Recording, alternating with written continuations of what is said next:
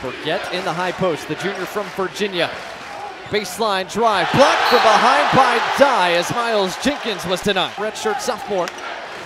Freshman brother on the right side as Jenkins drives, has it blocked again from behind by Dye.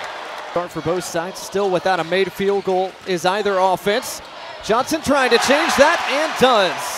Cooper Kaifes has his first board. Glover attacking in transition, got to the 10. Glover's got a quick first step. You got to get in front of him, not let him get all the way to the rim. First bucket for Miles Jenkins as Glover gets to the rim again. A long time without a stoppage as Kaifes fires in transition and knocks it down. Rebounds. Seven points early here for Marshall and a steal. Boyer leaves it inside for Marshall who lays it in. Glover, a corner tray, is good. Jaden Campbell attacks the closeout, scoops and finishes. Got some nice spin on that one. Not this time.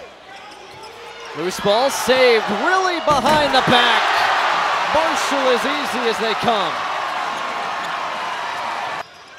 Bubba Parham wasting no time. Dye a one-handed stuff.